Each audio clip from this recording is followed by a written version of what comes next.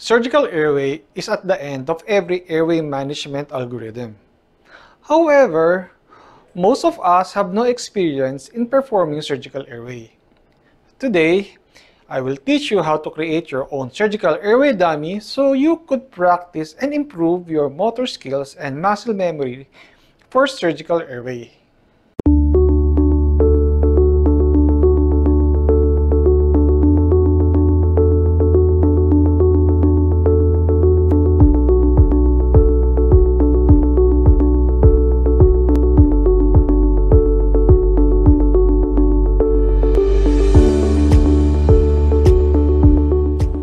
You will be needing a thick cardboard, a thin cardboard, an old anesthesia breathing circuit, some leukoplasts, and foam. Okay? The anesthesia breathing circuit could be used as a model for trachea.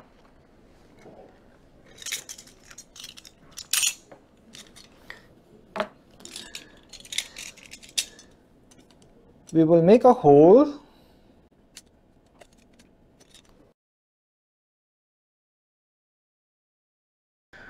So we make a hole on the breathing circuit to represent the cricothyroid space.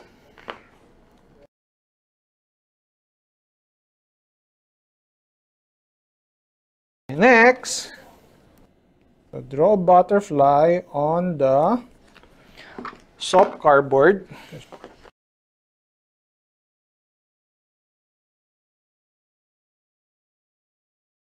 This will represent the thyroid cartilage.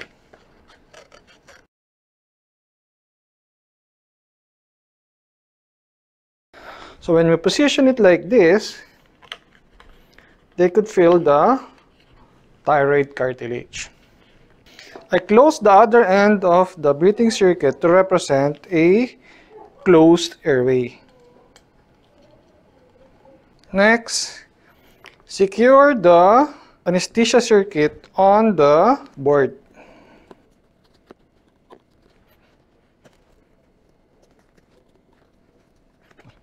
I place another tape in front of the cricothyroid space to indicate the cricothyroid membrane.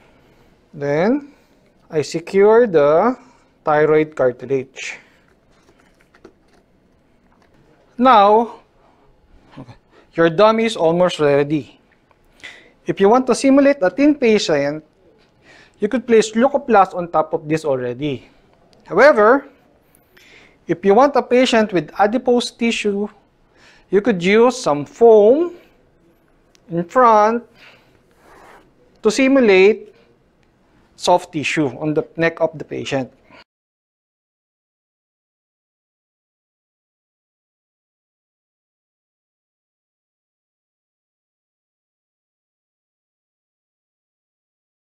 Now, your dummy is ready.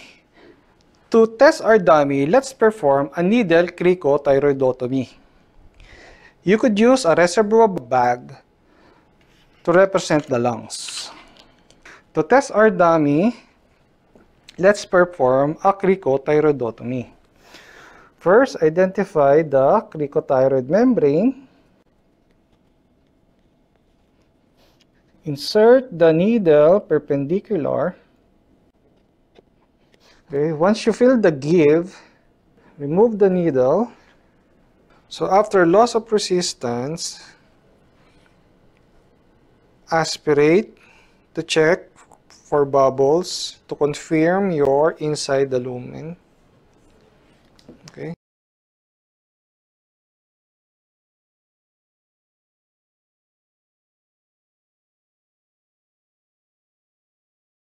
We could also perform scalpel bougie technique. If you want to make it more realistic and you want some bleeding, you could place a suction catheter near the cricothyroid membrane. Again, place the foam to simulate the adipose tissue, the soft tissue in the neck. Place some leukoplast to serve as skin.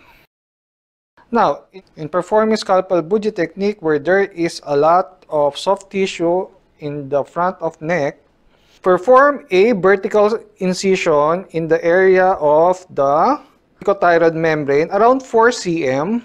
After incising the skin, perform finger dissection so that you won't injure the cartilages with the scalpel.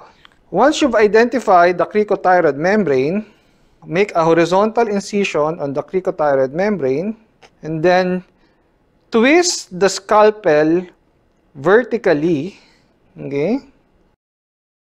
Get the bougie, slide the bougie against the scalpel until it enters the trachea. Remove the scalpel. Insert the ET tube.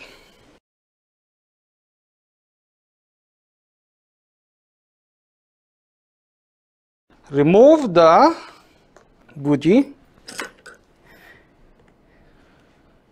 Inflate the cuff. Then ventilate.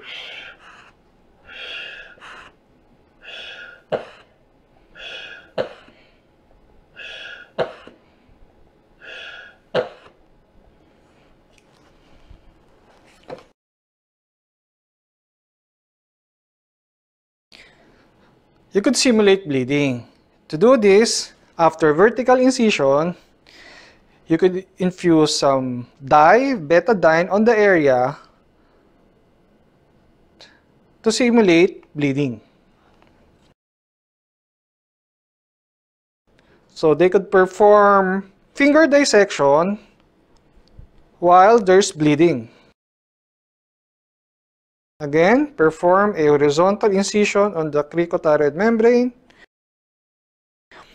Rotate it vertically. Insert the bougie. Insert the ET tube.